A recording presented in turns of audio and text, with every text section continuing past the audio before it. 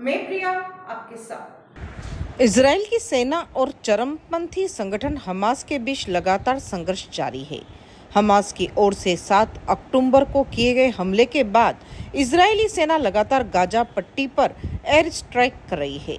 इस युद्ध में इसराइल के 1200 नागरिक, जबकि फिलिस्तीन के 950 लोगों की मौत हो चुकी है। इसराइल हमास के बीच छिड़ी जंग को लेकर भारत में सियासी जंग जारी है। यहाँ अलग अलग राजनीतिक दलों के नेता अपना स्टैंड क्लियर कर रहे हैं। इस बीच A I M I M chief Asaduddin Owaisi ने ट्वीट कर फिलिस्तीन जिंदाबाद का नारा लगाया है। असुद्दीन ओवैसी ने कहा, फिलिस्तीन जिंदाबाद, हिंसा मुर्दाबाद। मुख्य रूप से इसराइल या किसी समूह संगठन द्वारा की गई मस्जिद अल अक्सा आबाद रहे। वहीं इस लड़ाई में अब all India Muslim personal law board की भी एंट्री हो गई है।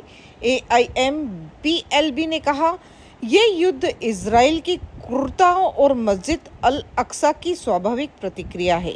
फिलिस्तीन की प्रतिक्रिया को आतंकवाद कहना पीड़ितों के साथ अन्याय करना है।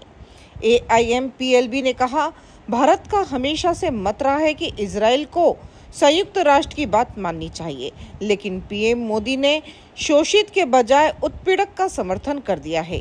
फिलिस्तीन सिर्फ़ अपना बचाव कर रहा है। जो भी उसके ऊपर जुल्म हुए हैं। इसी के साथ बने रहिए एशिया न्यूज़ इंडिया के साथ। धन्यवाद।